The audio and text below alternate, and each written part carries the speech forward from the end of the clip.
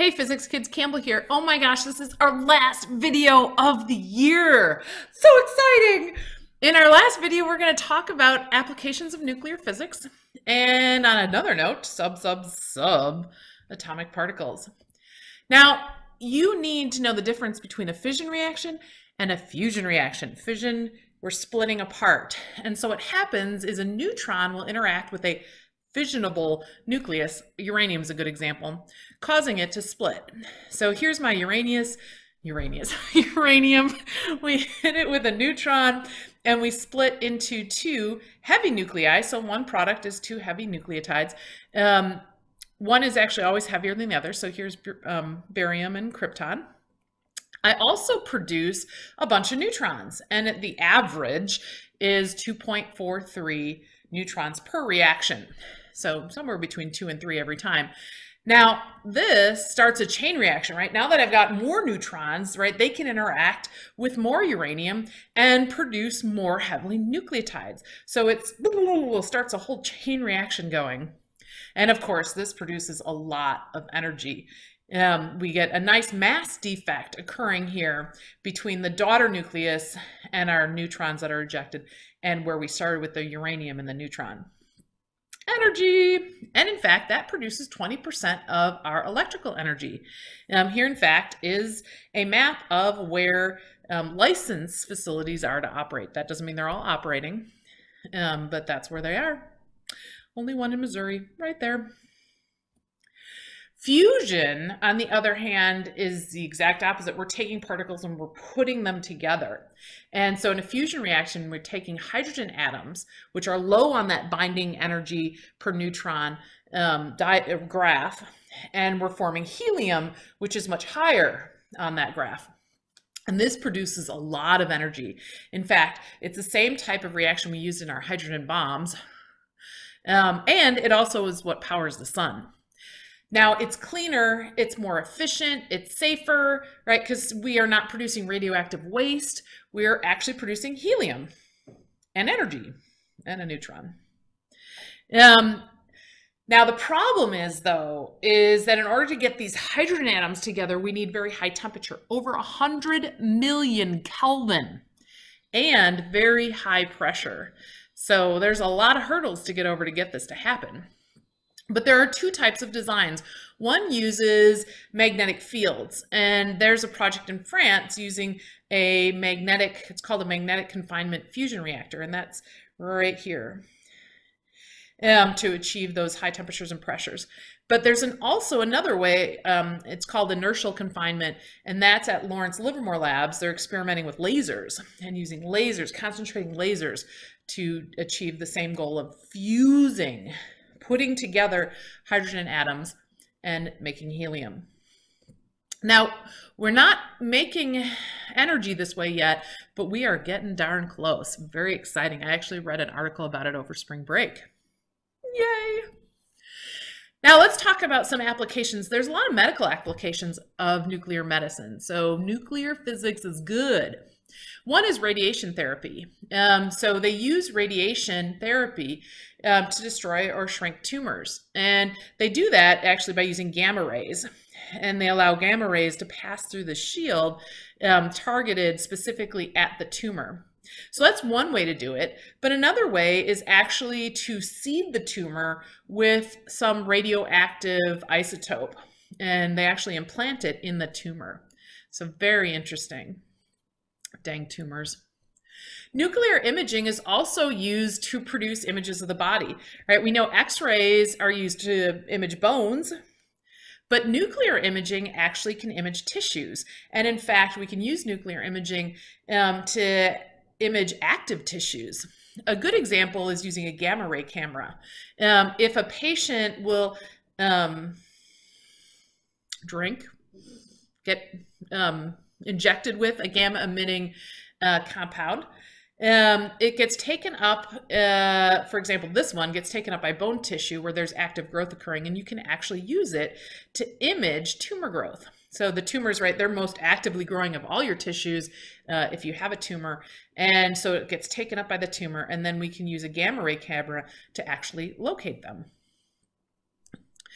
Similar to that is PET scans. PET scans are positron emission tomography, and they use most typically a fluorine isotope that emits a positron. Remember, positron emission isn't very common, um, but this isotope will emit a positron and become oxygen. Um, it's a very quick process. The half-life is 110 minutes. Um, so, but this fluorine is used to create glucose or an analog of glucose um, and it that's actually happens in the brain. And so it's a good way to image what's going on in the brain. So it gets concentrated in active brain regions and they can do brain scans with it. Now, if you think about it, if I give you positrons, right, they're going to find your electrons because you got a lot of those. And they're going to eject gamma rays when they annihilate each other. All right, and those gamma rays, by conservation momentum, are going to be at 180 degrees to each other. And so a detector will be able to determine the line along um, where those gamma rays are being ejected. They'll be able to figure out where those positrons were taken up.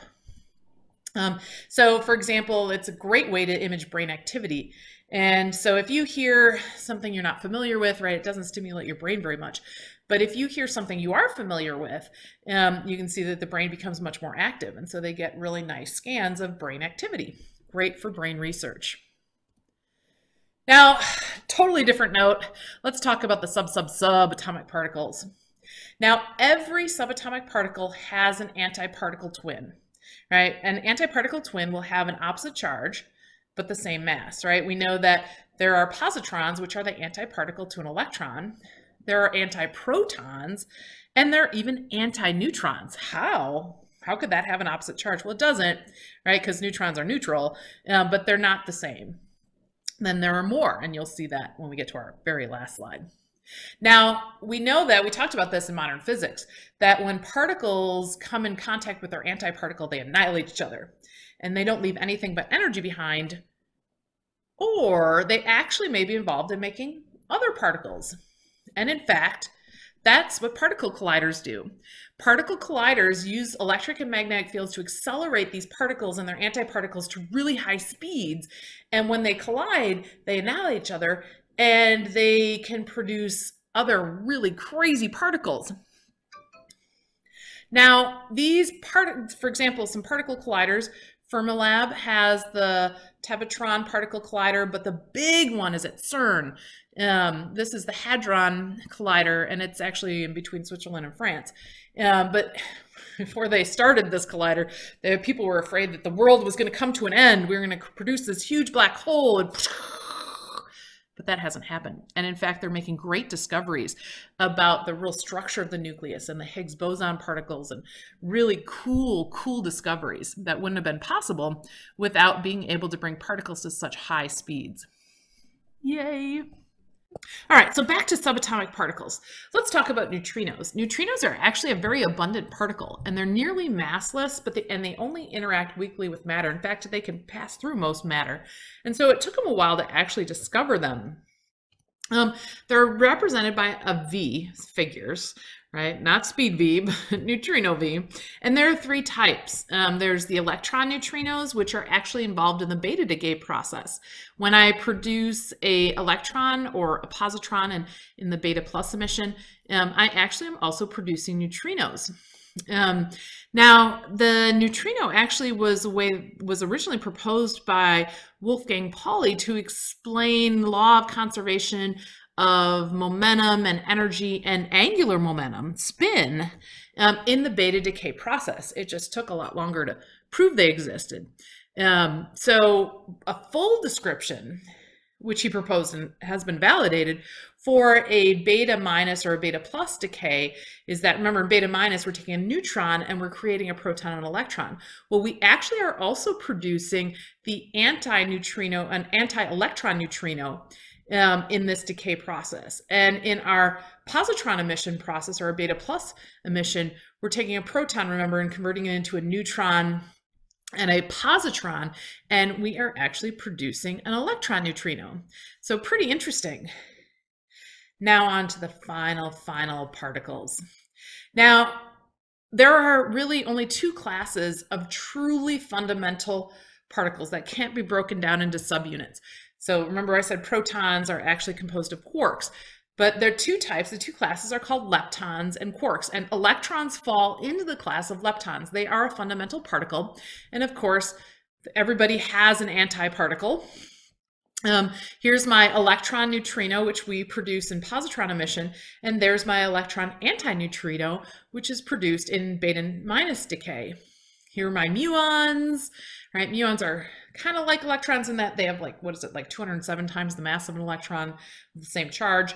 Um, and of course, they have neutrino versions. That's the second type of neutrino. And there's the tau particles, and they also have a neutrino uh, equivalent.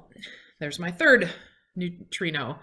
Now, leptons are particles like the, the electrons and the neutrinos, but quarks, right? Quarks are truly fundamental particles that make up protons and neutrons. And remember I said they're up and down um, quarks?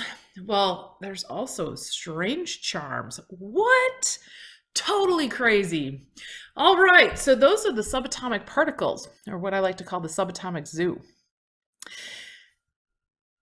And unfortunately, I don't have any WSQ questions for you. So just write me a summary, write me a question, and I'll see you in class.